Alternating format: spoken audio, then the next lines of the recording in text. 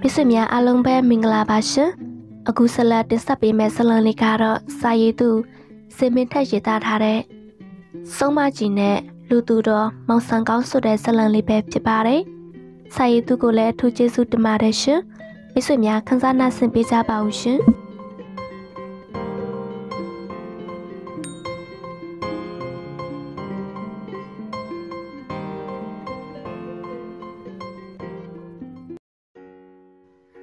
တာလာရွတ်မှာဖွားတင်ဆန်းဆိုတဲ့ဖွားကြီးတယောက်နေထိုင်နေဖွားတင်ဆန်းမှာအသက်အဖြစ်တော့80ကျော်လောက်ရှိတော့လဲပုံပန်းတရက်မှာ80ကျော်လောက်ဦးစားတယ်လမ်းသွားရင်လဲခက်ကိုင်းကိုင်းနဲ့တောင်ဝိတ်တစ်ချောင်းကအမြဲပါတယ်ထို့အဖွားကြီးမှာမျိုးရိုးစင်ဆက်ဆုံးပညာမျိုးရိုးတဲ့ရွာသူရွာသားများမှာသူ့ကိုကြောက်တာတကြောင်ပြဿနာမဖြစ်ရှင်တာတကြောင်နဲ့သူနဲ့အဝေးချီကချောင်းနဲ့ ဖွားတင်ဆန်မှာကြောထောက်နောက်ခန့်သူမရှိတော့လဲဘိုးဘလက်ထက်ကလေးကပြေလေလို့စွဆောင်ထားတာလေးတွေနဲ့ပဲသုံးဆွဲတယ်။ရွာသားတွေကအဆက်ဆက်မလုပ်ပေမဲ့သူကတော့လိုက်လုပ်တယ်။သူများမခေါ်ပဲခြုံသွားရင်တောင်သူကလိုက်ခေါ်တယ်။ထို့ရွာမှာအသက်အပြည့်20ကျော်ကျော်ရွယ်ခန့်ရှိသောမောင်ဆန်ကောင်းဆိုတဲ့လူသူတော်လေးတယောက်ရှိတယ်။မောင်ဆန်ကောင်းမှာမိဘတွေမရှိတော့လို့ဘုန်းကြီးကျောင်းမှသာနေတယ်။ မောင်ဆန်ကောင်းသက်ငါးနှစ်ရွယ်တဲ့ကမိဘတွေငါးဆရင်လှေမောက်လို့ဆုံးခဲ့တယ်။ထိုရွာမှာရွာဦးကျောင်းဆရာတော်ကပဲခေါ်ယူမွေးစားခဲ့တယ်။မောင်ဆန်ကောင်းငယ်စဉ်တဲ့ကထူးခြားမှုနဲ့ပြည့်စုံသောကလေးပဲ။မွေးထရလေကြီးမိုးကြီးကြပြီးငလျင်လှုပ်ခဲ့တယ်။မွေးပြီးတနိုင်လောက်နေတော့လာကျက်တယ်။မိဘတွေလက်ထက်မှာတော့ကတိတ်မထူးခြားပေမဲ့မိဘတွေဆုံးပါသွားပြီးတဲ့နောက်ပိုင်းပုံမှုထူးခြားလာတယ်။ အိမ်မက်ထဲမှာအလွန်ကြီးညိုဖွယ်ရကောင်းသောရဟန်းတော်တစ်ပါးကမောင်ဆန်ကောင်းစီကိုမကြာခဏလာတယ်။အစာတော့မောင်ဆန်ကောင်းကလူတွေလိုဝတ်စားပေမဲ့တနေ့မှတော့မောင်ဆန်ကောင်းအိတ်နေချိန်မှာထထတကလေးဗျာဆရာတော်ဒီတခါလာတာတခါလေးကိုပြောစရာရှိလို့တင်ပါဖေရမနှက်ပြန်ကစားပြီးတခါလေးအပေါ်ဖြူအောက်ဖြူ ခေါင်းမောင်းဖြူဝတ်ပြီးနေ့တိုင်းတက်တက်လွတ်စားပါဘာဖြစ်လို့လဲဖေ။တကားလေးကဆရာတော်တို့လိုထရက်လန်ကိုကြွမြန်မဲ့ပါတမီရှင်ပဲ။တင်ပါဖေတပည့်တော်လိုက်နာပါမယ်။အေကွယ်တာတုတာတုတာတုထိုနေ့မှစပြီးမောင်ဆန်ကောင်းလဲဝှဖြူစင်ကြံနဲ့ဖြစ်သွားတယ်။နေစဉ်ကလေးကမောင်ဆန်ကောင်းကို ဆရာတော်ကအစွမ်းသိထိတွေပေးထားတယ်။ထိုအချိန်မှစပြီးတော့မကောင်းသောမိစ္ဆာမှန်သမျှကိုနိုင်နှင်းသောဆရာတဆူဖြစ်ခဲ့တယ်။ဖွားတင်ဆံမှာမောင်ဆန်ကောင်းကိုအမြဲတမ်းရှန့်လို့နေတတ်တဲ့ဓာတ်ရိုက်ဒုက္ခပေးလို့မရရင်သွဲဝိုက်ပေးတယ်။မောင်ဆန်ကောင်းကိုတရားလုံးကအားကိုးကြတယ်။တနေ့မောင်ဆန်ကောင်းရွာထဲကိုသွားလမ်းမှာကြိုကြီးတစ်ချောင်းကလှင်တွန်းလှင်တွန်းနဲ့မောင်ဆန်ကောင်းစီကိုလာနေတူတွေ့ရတယ် မောင်ဆန်ကောင်းမြင့်မာသာကျုပ်ဖြစ်ပြီးတခြားသူရဲ့အမြင်မှာကတော့မွေကြီးပဲဟာဟိုမှာမွေကြီးမွေကြီးအေးဟုတ်တယ်မောင်ဆန်ကောင်းသွားနေတာမွေကြီးမောင်ဆန်ကောင်းနောက်ကိုရောက်တော့မောင်ဆန်ကောင်းမှာချက်တော့လေးထိုးပေးတယ်မွေကြီးကမောင်ဆန်ကောင်းကိုလှမ်းပေါက်တယ်ဟာပေါက်ပြီရွာသူရွာသားများအော်လို့မဆုံးသေးခင်မှာမွေကြီးရမောင်ဆန်ကောင်းကို ပပောက်ပြီးချင်းမှာပဲကြိုးကြီးဖြစ်ကိုပြောင်းလဲသွားတယ်။မွေကြီးကကြိုးကြီးပါလားဟေး။ထော်အခါနားလဲသူတယောက်မှဒါတိုက်မွေကြီးပဲဖြစ်မယ်။ဖွားတင်ဆန်လက်ချက်ပဲနေမယ်။လူတွေပြောနေတော့မောင်ဆန်းကောင်းငွေကြိုက်တော်တရားကိုလက်ပြသက်ချလျာချက်ချင်းပြောက်ပြီးစုံမကြီးထပ်မှသွားပေါ်တယ်။သူလို့တလို့သူပြန်ခံရတာပဲ။ဒင်းကတော်တော်စောနေတယ်ပေါ့လေ။ ငါကငါလှုပ်တဲ့ဇက်ငါနိုင်ပါတယ်တယောက်တည်းပြောပြီးကျွတ်တချောင်းကိုယူပြီးတော့မမှုတ်ပြီးငွေဖြစ်သွားတဲ့အခါမှာစစ်တော်ကစိတ်များကိုစုပ်ယူခိုင်းတယ်တင်ဆန်းတဲ့ဟဲ့တဆန်းတဲ့ရှိတယ်ထင်းခွေမကြုံရှိခတ်တော့ကြုံရအောင်မပေါ်ဆန်ကောင်းရဲ့တနေ့ဘုန်းကြီးကျောင်းသားမှနေတဲ့လက်ပိုင်းချင်းဦးထွန်းချင်ရဲ့သားမောင်ကျော်စောမှာအိမ်ထဲမှာတောင်းကျမ်းတယ်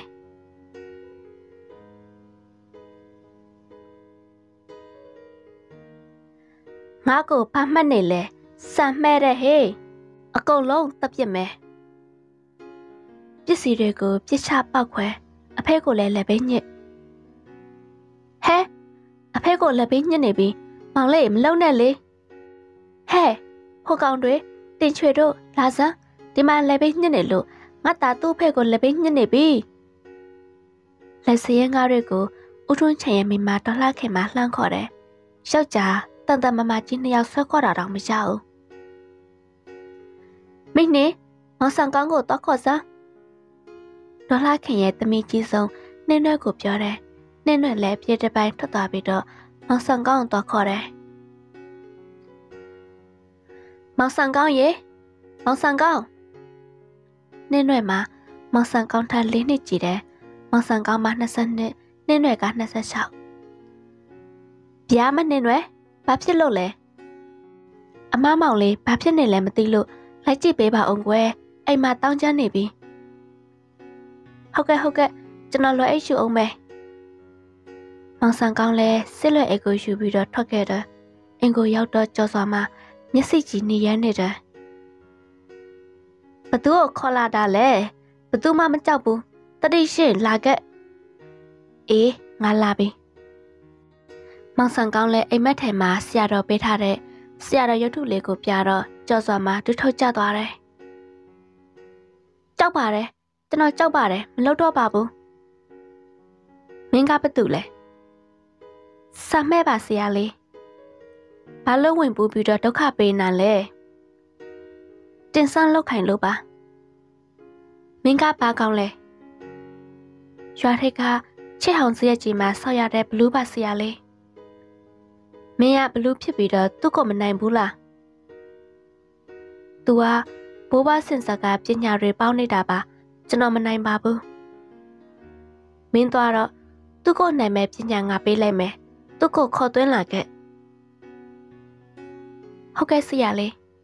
။ဘလူးလဲထွက်သွားရောကြော်စွာမှာချက်ချင်းတုံးရီလာတယ်။ဘာလဲဆန်ကောင်းငါမွေးမငါမြေလောက်ရှိတာကို ငါ့ကိုနိုင်မဲ့ထင်လား။အော်ဟုတ်လား။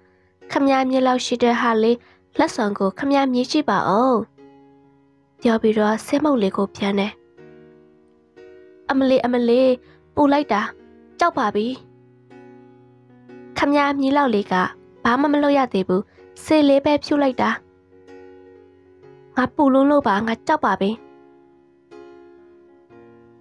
ဒီတိုင်းတော့မရဘူး သူများကိုဒုက္ခပေးတဲ့ပညာကိုလှူရင်ဖြည့်ပေးမယ်လှူပါမယ်ငါအသက်ကြီးနေပြီမခံနိုင်တော့ဘူးငါပူလုံးလို့ပါအခုဖြစ်ပေးလိုက်တာနဲ့ခမည်းပညာပါတိမ်ပြီးသားဖြစ်သွားမယ်ဆိုပြီးလက်နဲ့ဆွဲယူသလိုလှုပ်တော့ကြော်စွာမှပြက်ခွေသွားပြီးစုံမကြီးလဲထွက်သွားတယ်သူ့ဒီစိတ်မှုတ်တိုက်လိုက်ကောင်းသွားလိုက်မယ် ထိုနေ့မှစပြီးတော့ထိုရွာမှာလဲစုံမကြီးမရှိတော့ဘူးဖွားတင်ဆန်းလဲတာမန်လူဖြစ်ပြီးတော့ဖရာတရားကိုကိန်းချင်းလာခဲ့တဲ့လူတိုင်းကိုလည်းမြတ်တာထားတယ်။မောင်ဆန်ကောင်းကိုလည်းရွာသူရွာသားတွေပို့ပြီးတော့လေးစားယုံကြည်တယ်။မောင်ဆန်ကောင်းလည်းအသက်68နှစ်ထိတတော်များကိုကတင်ပြီးဝါဆိုလာပြင်းနေမှာပဲထွက်ရလန်ကိုမြန်းသွားခဲ့လေတော့တယ်။နွေရာသီကာလမို့လို့ ရွက်ချောက်များကတတော်တောင်လုံးကျွေပြီးတောအုပ်တောင်ကုန်းများဘဝဲပေါက်နေတဲ့တပင်တွေ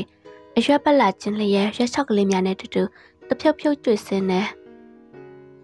ရွာမှာချင်းလိုက်ပြစ်ကြသောကလေးများမှာအခုလိုရှာသည်မှာချင်းလိုက်ကြရဝဲရှင်ကတက်ခေါင်တွင်ကိုဝင်သွားပါကအခေါင်ထွက်ပေါက်တွေကိုပိတ်ပြီးချင်းဝင်သွားရပဝတွင်ကိုတည်ရွက်တကိုင်းကြောင်များတွတ်သွင်းပြီးတော့မိချိုတယ်အပူတံမိခိုးတန်ကြောင့် တက်ခေါင်တွင်ကိုရောက်နေတဲ့ရှင်မှာမိချိုရအပေါက်ကတင်းကိုပြန်ထွက်ကြလေရာစောင့်နေကြတဲ့ကလေးများလက်ချက်နဲ့အသက်ပြောက်ရတယ်။ချင်းလိုက်သောကောင်လေးတွေရဲ့မိချို့သောမိကနှွေကာလာမှုမိဘွားဆင်းထွက်ရမှာနေရာတိုင်းတွင်လောင်စာကားသိရှိတယ်။တော်မီလောင်လေတော့တယ်။တော်မီဟာတတော်လုံးတတော်လုံးကိုနင်းညာပတ်လောင်ပြီးတော့လောင်စာရှိရာကိုမိကူသွားတယ်။တော်မီလောင်ချိန်မှာ တောနေတလိဆန်တွေမှာဘေးလို့ရကိုချောင်ပြေးတယ်။ကျွန်ုပ်နဲ့တာဝဆရာတပည့်နှစ်ယောက်မှာတော်မီလောင်ပြီးတော့တပတ်ကြာမှအမဲဖြစ်ဖို့ထွက်လာခဲ့ကြတယ်ရှားသည့်ဥထုမှာຫນွေဥထုနေလက်ပိုင်းပူပြင်း၆တွေ့တယ်။တော်လုံးလဲပြောင်းချင်းနေတာတားခေါင်းတွေဘယ်မှာသွားနေနေကြပြီလဲ။တောညို့ကြီးပဲရောက်ကုန်ကြပြီပေါ့ကွာ။အဲ့ဒီဘက်မှာစမ်းပေါက်တွေစမ်းချောင်းတွေပေါ်တော့အပင်တွေကဆင်းဆင်းဆွဆွနဲ့တော်မီနှစ်တိုင်လွတ်တယ်လေ။ ဝေးတယ်ကိုကြီးကမိုးရင်းဆိုရင်တော့နှစ်ရက်လောက်ကိုသွားရတဲ့ခရီးပဲ။အခုကမိုးရင်းမဟုတ်ဘူး။တော်မီလောင်ထားလို့ပြောင်းချင်းနေတာနေတဝက်စာခရီးလောက်ပဲရှိမယ်။တညာလောက်အမဲပြစ်သွားကြဆိုလား။တညာအိပ်ဖို့ကွာ။မိုးရသည့်ကလာမှာအပြန်အဆိုင်ပေါက်နေတဲ့ခြုံရွယ်ပင်တွေတပင်းငယ်တွေများကြောင့်တော်အတွင်းမှာတောရလာရခရီးမတွင်တော့လဲတော်မီကတရွက်ချောက်များခြုံရွယ်များကိုလောင်ကျွမ်းထားလျက် ပြောင်းချင်းပြီးတော့တောရလာရလွယ်ကူတယ်ကျွန်ုပ်တို့ယခုအမဲပြစ်သွားမဲ့တောညိုကြီးမှာတပင်းကြီးများခြုံရွယ်ပင်တွေထူထပ်စွာပေါက်နေပြီးနွေရာသီကာလမှာစမ်းကြောင်များရှိနေသောကြောင့်တော်မီလဲလွတ်တဲ့တပင့်ကြီးများခြုံရွယ်များထူပိနေရာနွေကာလဝဲတားကောက်များခိုအောင်တကြတယ်။တော်ညွတ်ကြီးဆက်ကိုဝင်းမိချိန်မှာကျွန်ုပ်တို့အမောပြေးသွားတယ်။ တခြားနေရာမှာတပင့်ကြီးများအရွက်များကျွနေကြတော့လဲတော်ညွတ်ကြီးတောင်ကျော်တစ်ချောင်းပေါက်နေသောတပင့်ကြီးများမှာအရွက်များစိမ့်ဆုပ်ဝေးစားနေသလိုခြုံရွယ်ပင်များကလည်းစိမ့်ဆုပ်စွာနဲ့ရှိတယ်။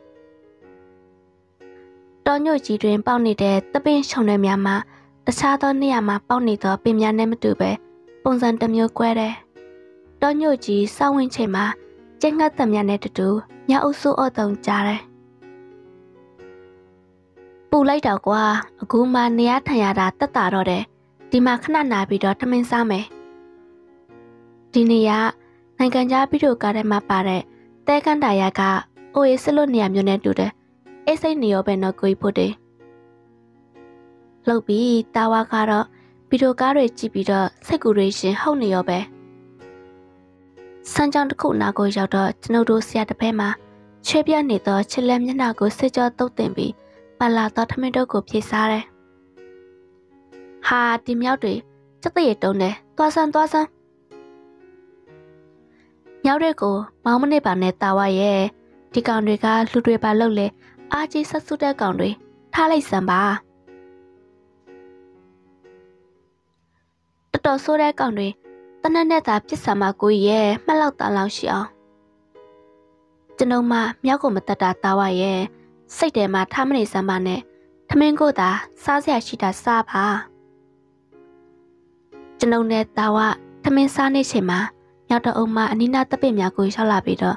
စူဇက်ဟန်နဲ့တကွေးကွေးတန်ပြုတ်ပြီးတော့អော်တယ်။တာဝါမှာဒေါသဖြစ်လာဟန်နဲ့ထမင်းစားချက်ပြီးခဲနဲ့လှန်ပေါက်တော့ကဲလုံးလို့ရတပင်မြင့်စီကိုမြောက်တွေတက်ပြေးတယ်။တာဝလည်းလက်ပြန်စီပြီးတော့ထမင်းစားရန်ပြနေချိန်မှာမြောက်တွေက လူနဲ့မနေမဝေတက်ကံများကိုရောက်လာတော့ကြောင့်တာဝကဲဖြစ်ထပ်ပေါက်ရန်ပြုတယ်။ကျွန်ုပ်လည်းမနေတာပဲနဲ့တားမြစ်တယ်။ဒီမြောက်တွေကလွန်ကိုလွန်ပါတယ်။လူကိုလည်းမကြောက်မလန့်နဲ့စိတ်တို့ပိုကောင်းလိုက်တာ။စကပုံတစ်ခုရှိတယ်လူဆိုတာမြောက်ကနေဆင်းသက်လာတာတဲ့ဒီစကားမှန်တယ်ပြောရမလားလူလောက်တာကိုလိုက်လို့လို့ရီရခငွေရခဆက်လံတွေရှိတယ် ဘလို့ဆက်လံမျိုးလဲခွေးဖို့တေပြပြပါလားဒီတိုင်းမရဘူးစက်ကြော်လေးပါလေးဆွဲပေးရမယ်ဒါဆိုရင်တော့ပြောပြမယ်ဆက်လံမပြောပြလဲနှိပ်ပေးနင်းပေးနေကြပဲဟာကိုထူဆန်းလို့လို့စားပြီးတောက်ပြီးချိန်ထိအနာပက်လက်မှာရှိတဲ့မြောက်တွေကိုကြည့်ပြီးဒေါပွားနေသောတာဝါကိုကြည့်ပြီးတော့ကျွန်ုပ်ကြားပူထားတဲ့မြောက်များနဲ့ပတ်သက်တဲ့အကြောင်းအရာများကိုသတိရမိတယ်။ တာဝါကကျွန်ုပ်ကိုစက်ကြော်ဆွဲပေးနေချိန်မှာကျွန်ုပ်ကြားပူထားတဲ့မြောက်ဆက်လန်ကိုပြောပြဖို့အစရှိတယ်။ဥဖိုးမောင်တို့တာဖတုံယောင်မှာအနောက်ယူမတော်တွင်ကိုလှော့ဆွဲဖို့ရှောက်လာတယ်။အိမ်သုံးပြင်တက်လုံးများကိုငမန်းဆွဲလွှကြည့်နဲ့လိုအပ်သလိုခွဲချမ်းဖြစ်တော့ဖို့ပဲလှဆွဲတဲ့ဆိုဒီမှာလူတရက်ကြော်မြင့်တော့လေတိုက်စင်ပေါ်မှာခုတ်လဲထားတဲ့တက်တုံကြီးကိုတင်ပြီး လိုအပ်သလိုခွဲစိတ်ဖြစ်တော့ရတယ်ဒီလိုလှဆွဲဖို့လူ၃ယောက်လိုတယ်လှဆွဲတဲ့ခါမှာလှဆက်ရကအခရာကြသူပဲခွဲစရမဲ့တက်တုံကိုမမိသွေးစိတ်ထားတဲ့ကျုံနဲ့တတုံပေါ်မှာအမှတ်သားဖြစ်ပြီးတော့လွှတ်ဆက်ရမှာထိုအတိုင်းပဲလိုက်တင်လွှတ်ဆွဲစေဖို့လွှတ်မညက်စေဖို့တစ်တာတတစ်ခုနဲ့ခွဲချောင်းတစ်ချောင်းဆွဲလိုက်တခုရွှေ့လိုက်ဖြစ်လုပ်ရတယ်။ ဥဖို့မောက်မှာငယ်စဉ်လူပြပေါက်တဲ့ကလွှတ်ဆွဲလာသူပဲမိသားစုကိုသူတက်မြောက်တော့လွှတ်ဆွဲပညာနဲ့သာကျွမွေးလာခဲ့တယ်။တားများရွယ်ရောက်တော့တခြားသူများနဲ့လွှတ်မဆွဲဘူး။တားဖသုံးယောက်လွှတ်တဆိုင်ထောင်းပြီးတော့ဆွဲတယ်။တားဖသုံးယောက်မှာတနေကုန်တနေကတက်လုံးများကိုခွဲစိတ်ဖြတ်တောက်နေကြရာသူတို့ရဲ့ပေပပတ်လက်မှမြောက်တွေကသူတို့တားဖသုံးယောက်ရဲ့လောက်ကနေသူကိုစူးစမ်းစွာကြည့်တယ်။ လွှတ်ဆွဲသောနေရာမှာတော့နှက်ပိုင်ကြတဲ့ချက်လူချောပေါက်နေသောရက်များမှာမြောက်တွေပေါ်သောရက်ပဲညနေဆောင်လို့လုံငန်းတင်ဆဲပြီးတော့စကတ်ချရစီကိုပြန်ခဲ့တယ်ဥဖိုးမောင်တို့တာဖတ်တုံရောက်ထွက်သွားတာနဲ့ညအုပ်မှာလွှတ်စင်ပေါ်ကိုသူထငါအလူချက်တက်ပြီးတော့ကြံခဲ့တယ်နောက်တနေ့မိုးလင်းလို့လွှတ်စင်ကိုရှောက်လာတယ် လွှတ်စင်နာကိုမရောက်ခင်မြောက်တွေကတကွိကွိအော့မြင်နေတယ်ဦးဖိုးမောင်တို့တာဖသုံးယောက်လွှတ်စင်နာကိုရှောက်လာတော့စင်ပေါ်မှာတက်နေတဲ့မြောက်အုပ်မှာနေစရတပည့်များပေါ်ကိုပြစ်တက်တယ်အဖေဒီမြောက်တွေကတဲတင့်ရဲပါလားလူလာတာတော့မှမပြေဘူးဟုတ်ပါလူကိုယ်တော်မျက်လုံးပြူတာနဲ့ထိုင်ကြည့်နေသေးတယ်ကဲကွာဟေးဟေးသားတို့မြောက်ကတင်းနေပြီထင်တယ်မလုံနဲ့ တခြားသောမြောက်တွေအပင်ပေါ်ကိုတက်သွားကြတော့လဲခွဲလက်ဆတက်တုံကြီးပေါ်မှာရောက်ကြီးတကောင်ဆောက်ကြောက်ထိုင်ပြီးမျက်လုံးကြီးပြူသားနဲ့ကြည်နေ။သားနှစ်ယောက်မှလူကိုမကြောက်တဲ့မြောက်ကိုအံ့ဩစားပြောပြီးတားငယ်မှာမြေပေါ်ကခဲကိုကောက်ပြီးတော့မြောက်ကြီးကိုပြစ်ထည့်လေရာကဲလုံးမှာမြောက်ကြီးရဲ့ရှင်ဘက်ကိုအချင်းဖြစ်ထိမှန်တော့လဲ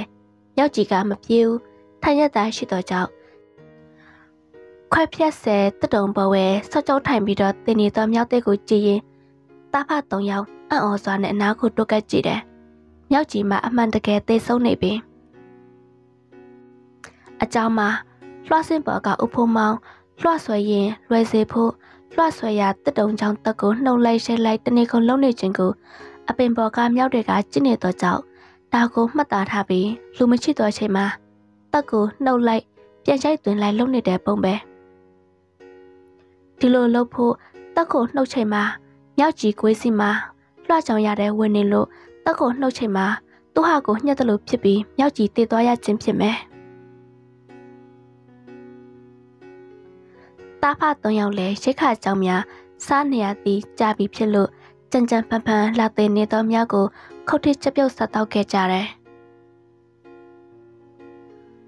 ဥဖို့မောင်တို့တာဖတစ်ခွဲရှာမှပြန်လာလို့ရှော့ကိုပြန်ရောက်တော့သူတို့ကြုံခဲ့ရတဲ့မြောက်ကြီး ခွေးစည်းညက်ပြီးတေတဲ့ကြောင်ကိုရွာသားများကိုပြောပြတော့ရွာသားတွေမှာပထမတော့အံ့ဩတယ်ပြီးတော့ပြုံးကြရှိကြတယ်ကျွန်ုပ်ပြောပြတဲ့ဆော့မတ်ပြီးတရားတဲ့မြောက်ကြောင်ကိုနားထောင်လို့တာဝါမှရှိမောတဲ့အပင်ပေါ်ကမြောက်တွေမှာကျွန်တော်တို့ရှိတာကိုထူးဆန်းတော့ဖွဲ့ကြည့်နေတတော့ဆိုတဲ့မြောက်တွေစော့စရာချလို့တက်ကိုမှသွားနှုတ်ရတယ်လို့ စော့တာကတော့ပြောမနေပါနဲ့တော့ကွာတချို့ဆိုရင်တောထဲမှာလူမရှိပါဘူးဆိုရင်ပစိုးလေးချို့အင်ဂျီလေးချွတ်ပြီးတော့ရေချိုးမိပါတယ်ဘယ်ရှင်ကလေးကလူလစ်ကိုချောင်းနေလည်းမသိပါဘူးအကုန်မှပြေးတာဟဲ့အဲ့ဒါထက်ထူးဆန်းတာပြောပြမယ်ဇလန်တပုတ်ရှိသေးတယ်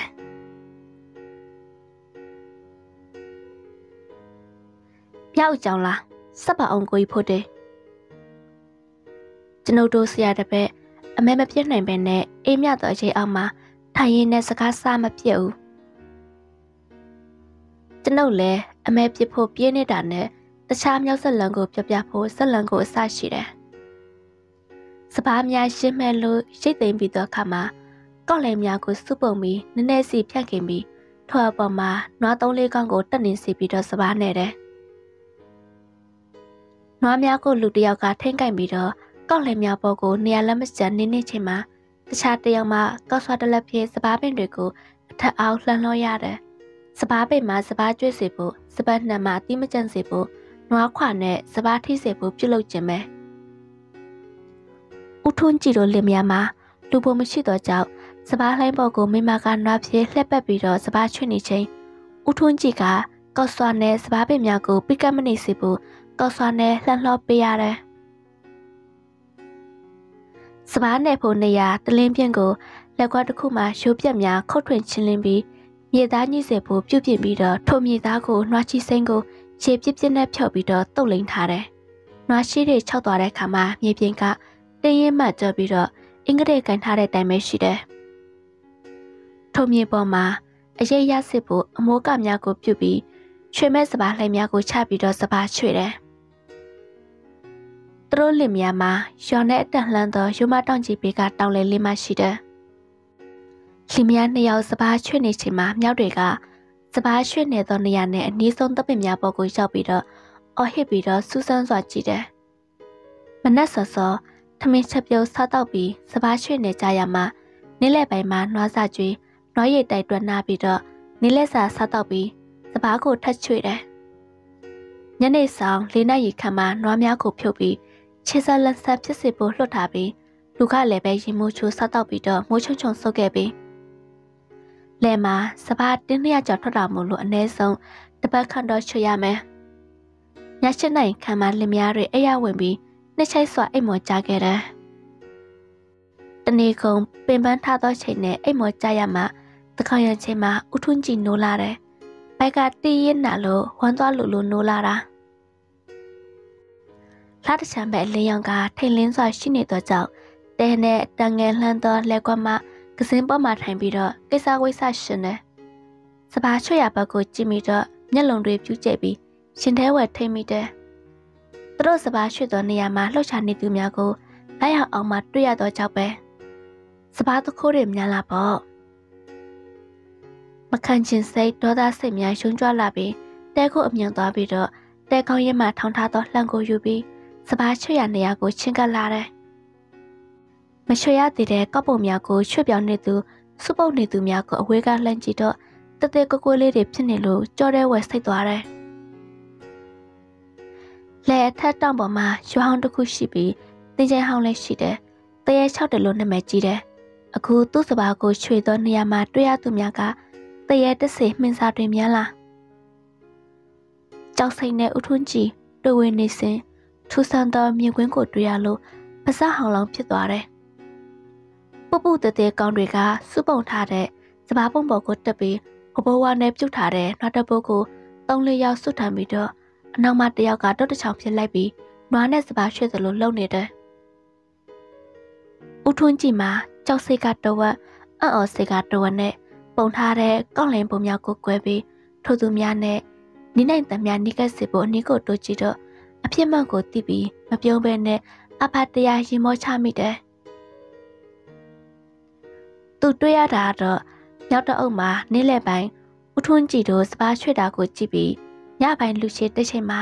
လူများစပားချွေတယ်လို့အချိန်မှမြောက်တုံလေးကောင်းကနွားလုတ်ပြီးတော့အနောက်မှမြောက်ကနွားများကိုထိန်းသောလူနေရာမှာနေပြီးစပားချွေနေခြင်းပဲအနောက်မှမြောက်တွေကသူ့မိမဆောင်းတဲ့ခမောက်စုပ်ကိုစောင်းထားတယ်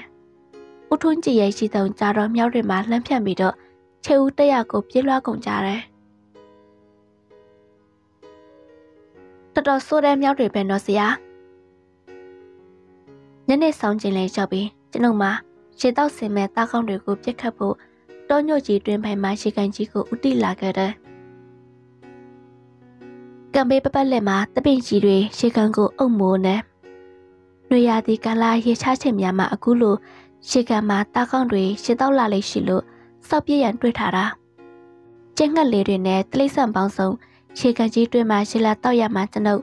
စုပြိုးလာတဲ့ဆက်ဖာကြီးတစ်ကောင်နဲ့ကြီးတစ်ကောင်ကိုပြစ်ခတ်ရရှိတယ်။ရှားလာတဲ့တားကောင်များကိုကျွန်ုပ်တို့နစ်လက်ကထိုင်စကားပြောသောနေရာမှာတည်လာတယ်။ရှားလာတဲ့တားကောင်များကိုချစ်ဦးစွာတော့မြောက်ခြင်းပြုတယ်။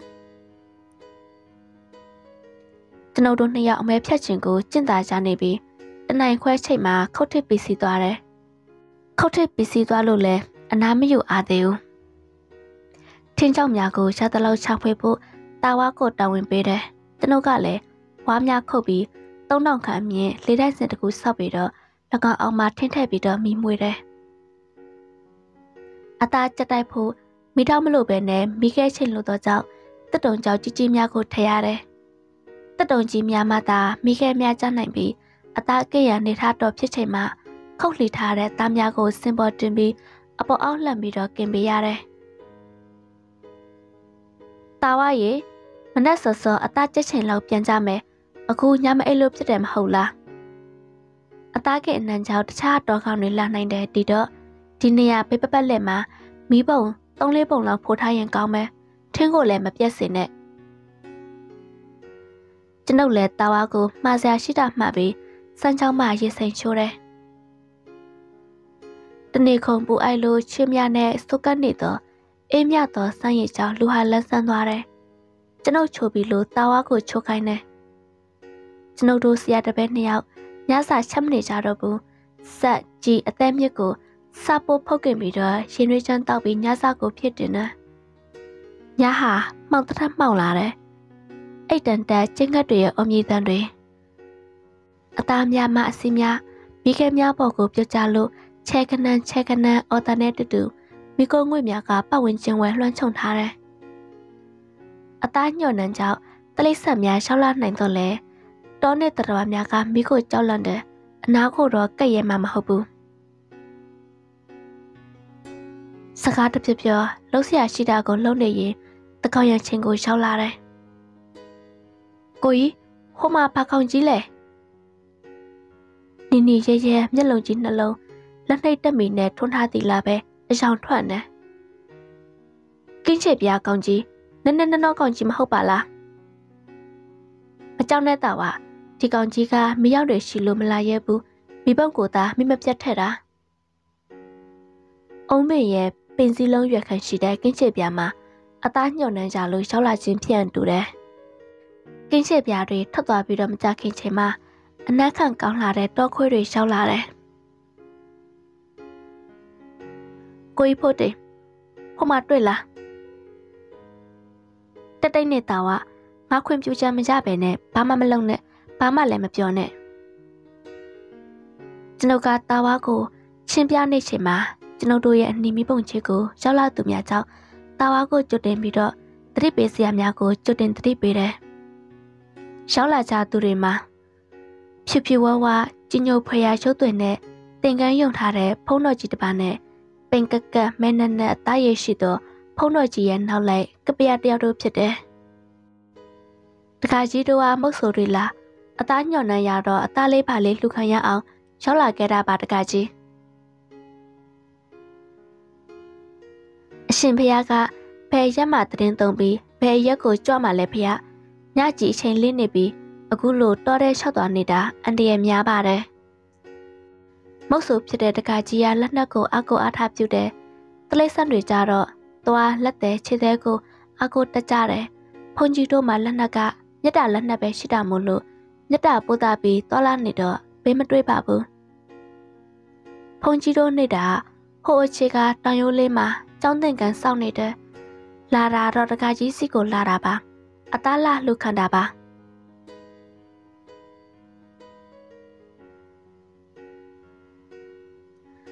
တတဝါတွေကိုမြတ်တာချစ်ထားတဲ့အရှင်ဖျားက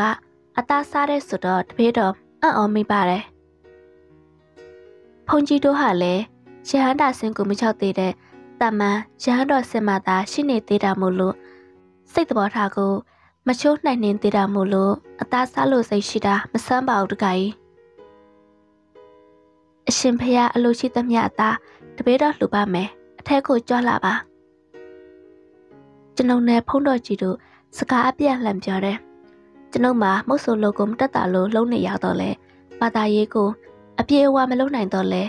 တန်ခါသူများတွေကိုရှိုးသေးလေးစားရွှချိုးစိတ်ရှိတယ်။ညအချိန်တော်ကြီးမျက်မှဲထဲမှာအသားလာပြီးတော့လူခါနဲ့ဖုန်ကြီးကိုစိတ်ထဲမှာတော့တန်တရားရှိတယ်။ဒါကြောင့်မို့တိလို့ຢာတွေကိုမင်းမြန်ပြီးတော့ချိုးသေးစွာမင်းမြန်ခြင်းပဲ။ကျွန်ုပ်ကအသားလှူရန်ပင့်ဖိတ်ခြင်းကို သူကစဉ်းစားနေဟန်နဲ့နှုတ်ဆက်တယ်။တခါကြီးတို့မီလင်းဖို့ရဲ့မီးရောင်ကပူပါတပိတ်ကွယ်ဒီကိုလာလှူပါလားတကကြီး။တကယ်လို့အရှင်ဖျားတပည့်တော်တို့စီကအလှလက်မခံနိုင်ရင်အရှင်ဖျားရဲ့တကကပိယကိုလှုပ်လိုက်ပါလား။ဒီလိုမှမဟုတ်ရင်တော့တပည့်တော်တို့မလှူနိုင်ကြောင်းပါဖျား။ကျွန်ုပ်ရဲ့စကားကြောင့်ဖုန်ကြီးနဲ့ကပရက်ကြီးမှာတူတူကြိတ်ပြီးတော့စကားပြောတယ်။က ပရက်ကြီးကခေါင်းတရရန်ရှိနေတော့ကြောင့်ညင်းဆက်နေဟန်တူတယ်။ဖုန်တော်ကြီးမှကျွန်ုပ်ကိုလာရောက်ပြီးတော့အသားများလှူဒန်းခိုင်းတယ်။ကျွန်ုပ်ကလာရောက်လှူခံပါကလှူမဲ့ဖြစ်ကြောင်းကျွန်ုပ်တို့သွားမလို့နိုင်ကြောင်းကိုစကားကိုချတိပြက်ပြောပြီးတော့ညှင်းဆန်ထားတယ်။မောင်ပိန်ငါအသားစားချင်တယ်။သွားယူလာပေးစမ်း။မမဖြစ်ဘူးလေရှင်ဖေယား။သွားယူဆိုသွားယူစမ်းကွာ။ နောက်ဆုံးကပရက်ကြီးမှာဖုံးတော်ကြီးကစကားတန်ခက်ပြက်ပြက်နဲ့ပြောဆိုတော့မဝိမရဲ့ချီလန်းတွေနဲ့ရှေ့ကိုတိုးကတ်တယ်။ကိုကြီးဖို့တေဟိုလူဘလို့ဖြစ်သွားတာလဲအသားနေတာကငါပြောသလိုဘာမလုပ်ပဲနဲ့ချင်းလေးကိုစောက်ကြည့်ကျွန်ုပ်ထန့်ကိုရှောက်လာတဲ့ကပရက်ကြီးမှာမိပုတ်နဲ့နေလာတော့တကူလုံးအသားတွေချစ်တို့မရပဲတကူလုံးပူလောင်ဟန်နဲ့နောက်ကိုဆုတ်သွားတယ် ရှင်ဖျားတို့ဟာတာမန်လူသားတွေမဟုတ်ဘူးဆိုတာတပည့်တော်ရိပ်မိပါတယ်အသားစားချင်စိတ်ရှိရင်ပြလိုက်ပါမယ်ယူသွားပါကျွန်ုပ်မှာကြက်စားပြုနေပြီဖြစ်တော့အသားနှစ်ပိတ်တာခန်းကိုဖပ်ပစ်ထုတ်ပြီးတော့လှမ်းပစ်ပေးတယ်။ကပ်ပရက်ကြီးမှာကောက်ပြီးဖုံးတော်ကြီးကိုသွားပေးတယ်။ဖုံးတော်ကြီးမှာကျွန်ုပ်တို့ဘက်ကိုကျေးဇူးတင်စွာနဲ့လှမ်းကြည့်ပြီးတော့ခဏမြရက်တယ်။ တရဝတိုင်းဟာဆွလမှုကိုမပပြတ်နိုင်ကြဘူးဆိုပေမဲ့အဆွဲအလန်စိတ်တအားပြင်းထန်ရင်အတက်ကျူအယူဖြစ်စွတ်တယ်လို့ဖြစ်ကုန်ကြတာပါပဲ။ကျွန်ုပ်လည်းဒီလိုပါပဲတောင်ပေါ်တွဲရကြောင်မှာဟော်ဒီကကပရကြီးကိုဖော်ပြရင်တရားအလုံးလုံးနေချိန်မှာဆင်းရဲအုပ်စုဖြတ်ချိန်မှာတတ်ဆုံချုံခဲ့တယ်ဘလောက်ပဲတရားအလုပ်ကိုလုံးနေပါစေတေချိန်မှာတရားအတိပြောက်ခဲ့လို့အခုလိုမကောင်းသောပုံပွားကိုရောက်နေရတာပါ ဖုန်ကြီးတို့စားကျင်တဲ့အသားကိုပေးတော့မုတ်ဆိုကြီးတို့ကိုကျေးဇူးတင်ပါတယ်ဖုန်တော်ကြီးမှာသူပြောလို့ရပြောပြီးကပရကြီးကိုဖော်ပြ၍တော်ရဲမှောင်တုတဲ့ကိုတိုးဝင်ပြောက်ကွယ်ခဲ့တယ်။ဖုံးတော်ကြီးပြောတဲ့စကားတွေကိုကျွန်ုပ်အပြေအဝနားမလဲဘူး။ဒါပေမဲ့တေခါနီးစိတ်ဆွဲကြောင်းမကျွတ်မလွတ်ဘွားကိုရောက်နေမှတော့သိတယ်။ဖုံကြီးလဲတရေရှိတာပဲလား။ ကြောက်လိုက်တာကိုကြီးဖို့တည်းရဲ့အသားစားချင်လို့လှတောင်းယုံပါပဲလူကိုအန်တရပြုမဲ့ပြရလောကသားတွေမဟုတ်ပါဘူးကွာနောက်ပြီးတော့ပရလောကသားဆိုတာဖုန်ကြီးလည်းရှိပါတယ်မင်းမကြဘူးဘူးလားစကပုံတစ်ခုတောင်ရှိတယ်ကတုံးနဲ့စတိုကငရဲမှအများဆုံးတဲ့အဲ့ဒီစကားဘာရိပ်ပဲလဲကိုကြီးဖို့တယ်မိမနဲ့ဖုန်ကြီးတွေကိုဆိုလိုတာတာဝါရရဟန်းဝတ်ပေမဲ့ ရဟန်းတို့စောက်ထင်ရမယ်ဝိနည်းတိတ်ခါပုဂ္ဂိုလ်မဆောက်ထင်ရင်လူထပ်ပို့ပြီးတော့အပြစ်ကြည့်တယ်ငရဲကြည့်တယ်ဒါကြောင့်မို့လို့ငရဲမှာဖုန်ကြီးတွေကအများဆုံးလို့ဆိုရှိတယ်မိမတွေကြတော့မနာလိုဝင်တို့စိတ်ကအများသားမဟုတ်လားတခုမဟုတ်တခုအဖြစ်ကိုကျွလွန်ကြတယ်ဒါကြောင့်အဲ့ဒါကိုဆိုလိုတာဖြစ်မယ်ငါစိတ်ထဲမှာရှိသလိုအနက်တိတ်ပဲဖွင့်တာဆိုတော့မှားတော့မှားနိုင်တယ်ငါကမဟုတ်ဆိုဆိုတော့ဘာသာရေးနဲ့လှမ်းဝေးတယ်လေ တကယ်ကိုအကြက်တဝင်းသိချင်ရင်လူကြီးသူမတွေကိုမေးစမ်းကြည့်ပေါ့ကွာတာဝါမှာပရလောကသားဖုန်ကြီးနဲ့ကပရကြီးကိုတွေ့ချင်းကြောင့်အနှဲငယ်ကြောက်လန့်နေဟန်ပဲတညလုံးဟိုကြောင်ပြောဒီကြောင်ပြောနဲ့မိုးလင်းလာတယ်နှစ်ယောက်သားလဲကြက်တိုက်ထားတဲ့သားများကိုချင်းကြားကြီးမှထည့်ပြီးတော့ရွာကိုပြန်လာခဲ့ကြလိမ့်တော့တယ်ကျွန်ုပ်ကတော့ပရလောကဖုန်ကြီးနဲ့အခုမှဥဆုံးချိန်တွေ့ပူခြင်းပဲပ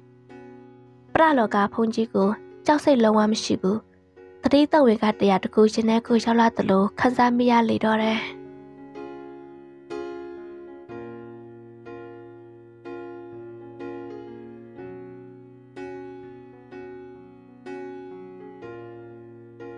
နာဆင်ပေးခဲ့ကြတဲ့မိတ်ဆွေများအားလုံးကိုအထူးကျေးဇူးတင်ပါတယ်ရှင်။ဆုံးမကြီးနဲ့လူသူတော်မောင်ဆန်ကောင်းဆိုတဲ့ဇလံလေးကတော့ဒီမှာပဲပြီးဆုံးသွားခဲ့ပြီဖြစ်ပါတယ်။ ဆက်လက်တင်ဆက်ပေးမယ့်ဇလံတလေးတွေကိုလည်းမိတ်ဆွေများဆက်လက်ဆောင်မြောက်အပေးကြပါအောင်လို့ပြောရင်းနဲ့ပဲနှုတ်ဆက်လိုက်ပါတယ်ရှင်။